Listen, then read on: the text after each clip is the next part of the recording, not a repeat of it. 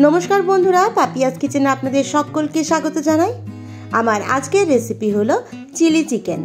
Chilli chicken সকলেই খেয়েছেন আর আশা করছি সকলেই বানাতে জানেন। তবে আমি কীভাবে বানাচ্ছি সেই রেসিপিটি আজ আমি আপনাদের সাথে শেয়ার করব। খুব সহজেই, খুব কম সময়ে আপনারা কীভাবে রেস্টুরেন্টের মতো tasty tasty juicy chilli chicken বানাতে পারবেন, সেই রেসিপিটি শেয়ার করব। চলুন তাহলে ঝটপট রেসিপিটি দেখে নেওয়া যাক। চিলি চিকেন বানানোর জন্য এখানে আমি পাঁচশো গ্রাম চিকেন নিয়েছি with bone chilli chicken cut বলেছিলাম, সেজন্য একটু ছোট ছোট পিস করে কেটে দিয়েছে। দোকানে চিলি চিকেন কাট পিস বললেই কেটে দেবে। আপনারা উইথ বোন বা উইদাউট বোনও নিতে পারেন। আমি এখানে উইথ বোন নিয়েছি।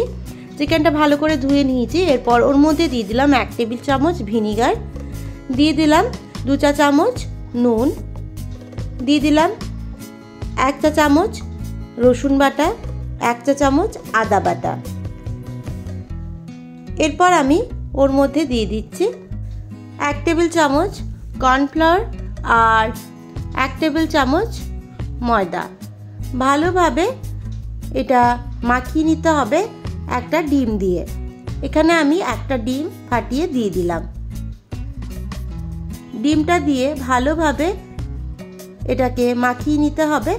মাখানোর সময় আমি অল্প একটু গোলমরিচের গুঁড়ো ছড়িয়ে দিলাম, এক চা চামচের মতো।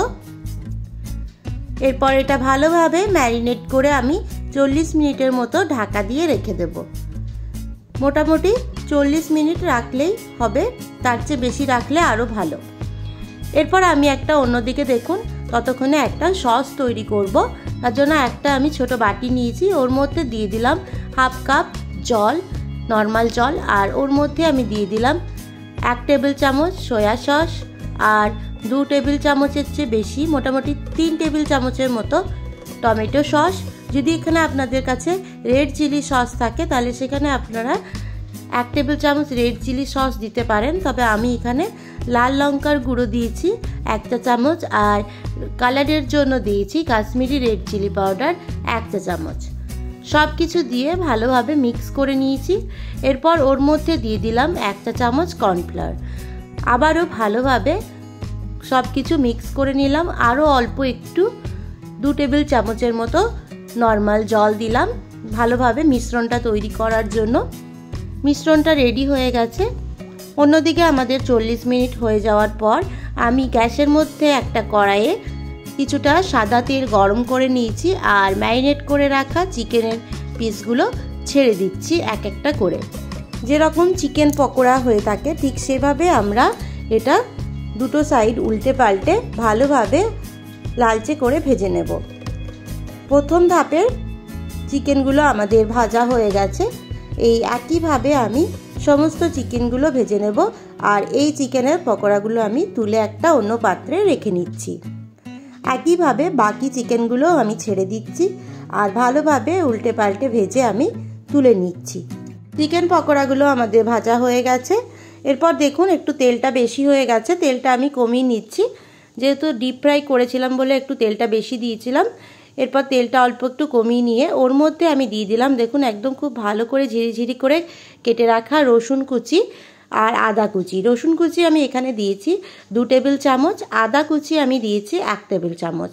দিয়ে ভালোভাবে নেড়েচেড়ে মিক্স করে নিচ্ছি। আর দেখুন, এখানে আমি একটা বড় সাইজের পেঁয়াজ এরকম চৌকা চৌকা করে কেটে রেখেছি। সেই পেঁয়াজ কুচিটা আমি দিয়ে দিলাম। আর এখানে আমি একটা ক্যাপসিকাম এরকম চৌকা চৌকা করে কেটে রেখেছি, সেই ক্যাপসিকামটাও দিয়ে দিলাম।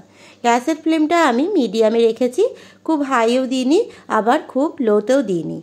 এরপর আমি ওর মধ্যে দিয়ে দিলাম হাফ চামচ, হাফ চা চামচ চিনি আর এক চা চামচ নুন। ভালোভাবে নেড়েচেড়ে মিক্স করে মোটামুটি এক থেকে দেড় মিনিট এটা ভেজে নিলাম। তারপর যে সসটা তৈরি করেছিলাম, সেই সসটা আমি এর মধ্যে অ্যাড করে দিলাম। সসটা দিয়ে আবারও ভালোভাবে নেড়েচেড়ে মিক্স করে নিচ্ছি। খুব বেশি করে লালচে করে পেঁয়াজ আর ক্যাপসিকামটা ভাজার প্রয়োজন নেই। চিলি চিকেনের ক্ষেত্রে অল্প একটু কাঁচা কাঁচা ভাব থাকে, সেরকম অবস্থাতেই কিন্তু ভাজতে হবে। খুব হাই হিটে দিলে এটা পুড়ে যেতে পারে, তার জন্য গ্যাসের ফ্লেমটা কিন্তু মিডিয়ামে রাখবেন। দিয়ে দিয়েছি অল্প একটু গোলমরিচের গুঁড়ো। এরপর ঢাকা দিয়ে লো ফ্লেমে এটাকে মোটামুটি তিন থেকে চার মিনিট হতে দিয়েছিলাম। তিন চার মিনিট পর ঢাকাটা খুলে নিলাম। এর ফলে আমাদের ক্যাপসিকামটা ভালোভাবে সেদ্ধ হয়ে যাবে পেঁয়াজের সাথে। তিন চার মিনিট পর ঢাকাটা খুলে নেড়ে চেড়ে আমি ভেজে রাখা চিকেনের যে পকোড়াগুলো, সেগুলো অ্যাড করে দিলাম। ভালোভাবে মিক্স করে নিয়ে অল্প একটু কাঁচা লঙ্কা কুচি আমি ওপর থেকে ছড়িয়ে দিলাম। তারপর আমি ওপর থেকে দিয়ে দিচ্ছি অল্প একটু জল।